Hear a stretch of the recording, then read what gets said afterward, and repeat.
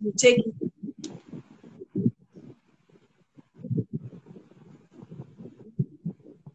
become a mother, you need to be able to understand what your children are about. I've seen people who their children are going to school and because the mother is not educated, she can't help the child with the home. Do you understand? That is, I'm sure for some of those women, they feel pain, look at the opportunities they have, and they said, Oh, I wish I'd had this opportunity. I would have loved to go to school. So you, a common saying, train a woman, you train a nation. So you cannot underestimate it because she's going to be having children later by God's grace in life. She has to be able to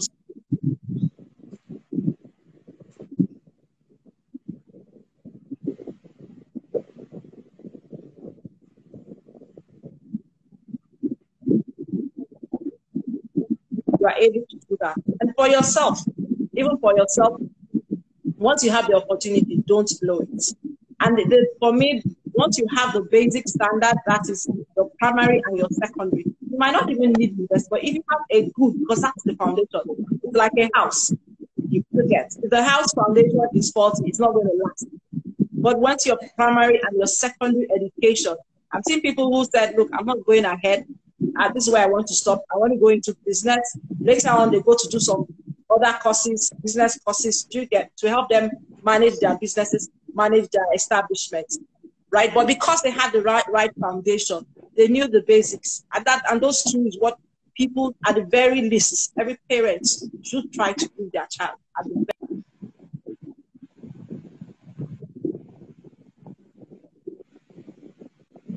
And read and understand because communication now is yeah, um, this guy. So as we go forward, days ahead, it is important that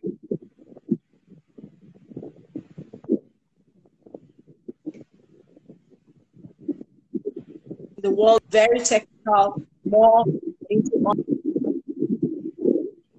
online things and all that. That's why it's important. Okay, thank you. Thank you. So, what's, how can a young child guided towards choosing a career in any sector? You know, how do you guide a, a child to choose a good career in this in this time that we live in?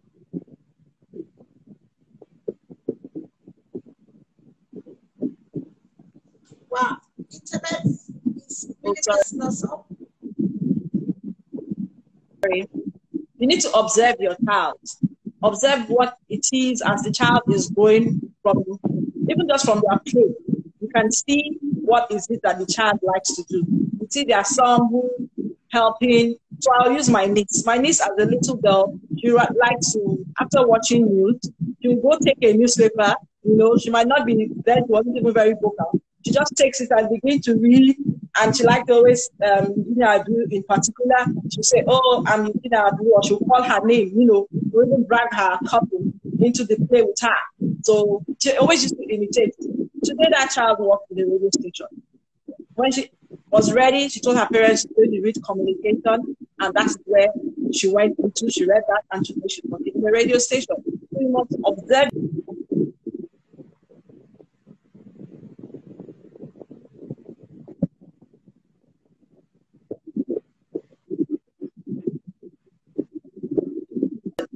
immediately because of him, I'd say engineering.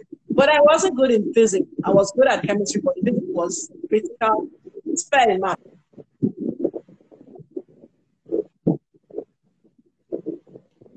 Look at what my courses, which I was good at. Oh, so sorry. Yeah, you're breaking when you talk. I hear you in bits. But I don't know if the audience can hear you. I can hear you now. Okay. Was so clear at the beginning. I'm wondering what's going on. Okay, so should I go on? Yes, please. Okay. So you look at the child's subject when it's um, time to enter university because at that point you make it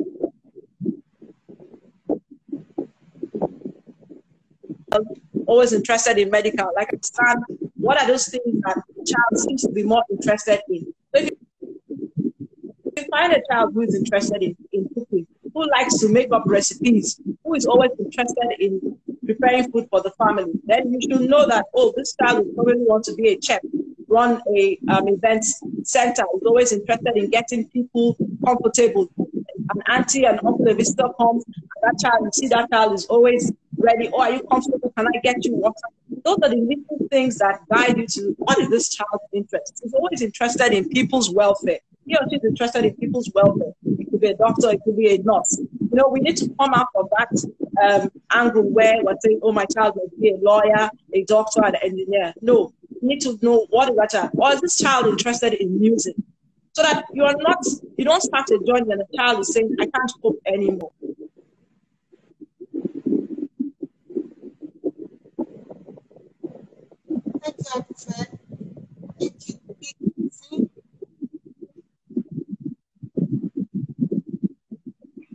Didn't like what they were reading. So, in observing your child, looking at the way are the person's strengths, don't go and push a child who's inclined into the sciences when it is clearly obvious that oh, arts is where this person wants to be.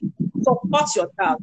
In doing that, you set that child up to excel in the future at whatever it is he or she wants to do. So those are the, the critical. Observe your child, know where their strengths are in terms of their subject the secondary school level. Also in terms of their skills, what are they prone to doing? Are they very hands-on? Do you understand? Are they very hands-on in, in what, what they do? You see them always, you know, wanting to fix things. Hey, boy, he takes apart a car because he wants to see you. Obviously, begin to know that this child is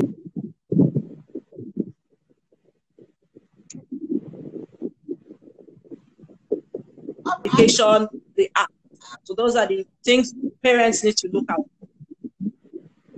Thank you. What are the right skills needed to reach the peak in any career? You know, for for a, a girl. Let's let's be specific about girl child. Okay, for a girl. Yes. Um. Okay, so you have the basic skills of um, your technical skills, and analytical skills, that's the job skills. Okay. Find out what are the job skills. What do I do? If I'm going into um like I accounting, you know, you want to go into the accounting profession. One of the key skills is attention to detail. You must not be someone who is not focused. You must be someone who can because you're dealing with figures. Sometimes these figures are plenty, are long, so you need to be able to know that, oh, I have written in this report, somebody has written 50 Wow. Okay.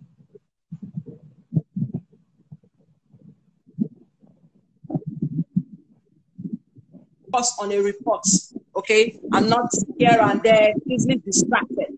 So, so for women who um, like say that we tend we tend to talk a lot. So if you're going into that kind of job, you need to be able to know to manage your emotions.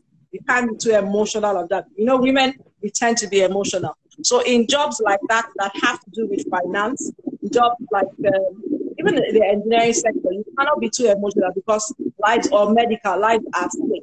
So you need to be able to manage your emotions. You can't be someone who is who is temperamental. Everybody has different emotions and going into that kind of job because you are dealing with people.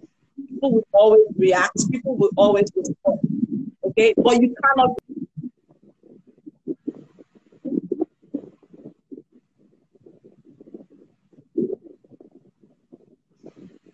yes.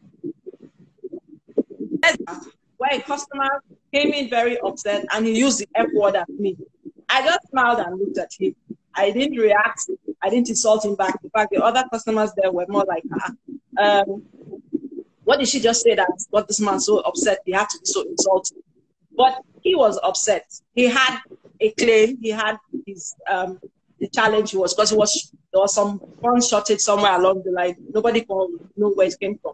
But you saw as a woman, you do not let your emotions control you those kind of problems. You must learn to manage your emotions.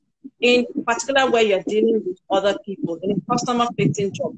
So for me, that's very critical because people should be able to see that, oh, you are stable. They need to see that, that they're, they're sure that, oh, this one will not slap a customer or begin to fight with the customer or argue. You must be trained to be one who is calm So for a woman, calmness is very important in those kind of job where you're customer facing.